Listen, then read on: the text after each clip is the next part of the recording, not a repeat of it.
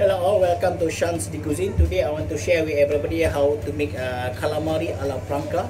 This means is uh, something like is very traditional uh, Spanish food.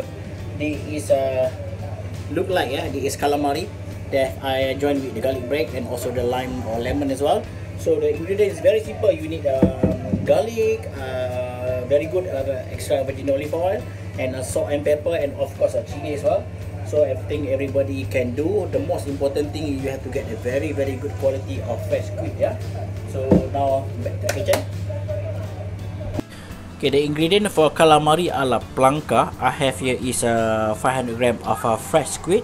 The squid I'm going to slice later on.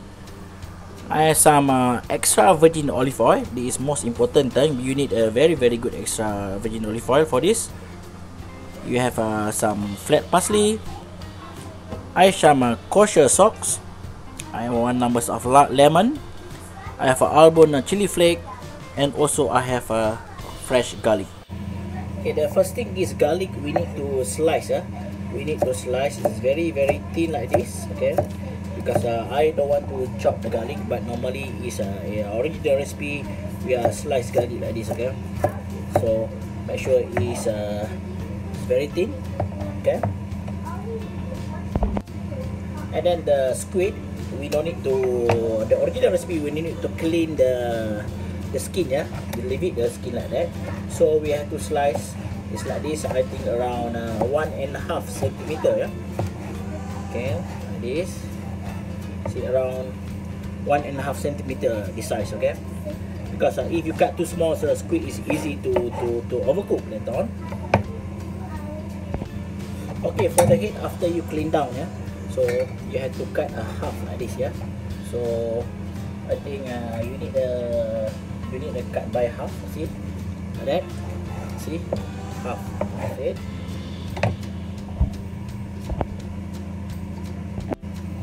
Okay also the parsley we need to chop. Is a very very roughly chop. And you don't need to it's a really fine just only roughly chop just like this okay? Just like that okay very very very very roughly. Chopped just like that.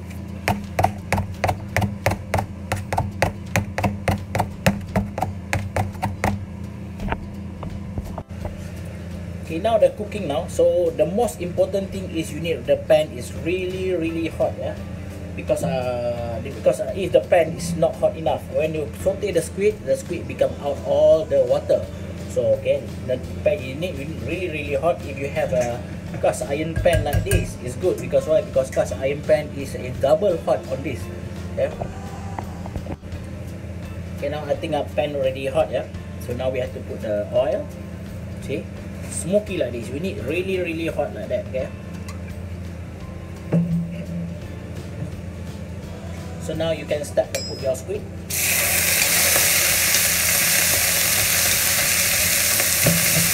cooking is not very long. I think I think less than uh, 10 minutes yeah? Because uh, otherwise you just uh, want the squid is just uh, just a half cook on this okay? See just like that. See that? I think less than uh, 3 minutes see because why because if the pan is hot you know.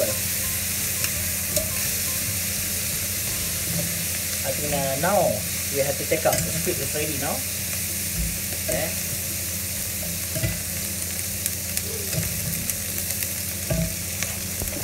okay on the same pan yeah so make sure you again you have to put the extra virgin olive oil like this. You don't need to change the pan because why? Because uh, we need the uh, we need the uh, the flavor. It's like this. You see there is a something like is a brown color here. So we think it's a flavor yeah? So now again the, we need to heat the oil. Okay now when the oil already hot so make sure you put uh, the garlic yeah? Okay you have to put the garlic. You have to saute the garlic. Make sure it's uh, the golden color or the brown little bit brown. This then it's typical when you put Spanish when you saute the garlic you have to put some uh, salt okay Okay, now garlic already is uh, already garlic already is uh, brown yeah. So now you have to put a time chili. Okay, continue a little bit chili, and then you have to put back all the squid. Okay. Okay, when you put back the squid, you have to stir a little bit, not much anymore. Okay. Because squid already half cooked anyway. Okay, see that?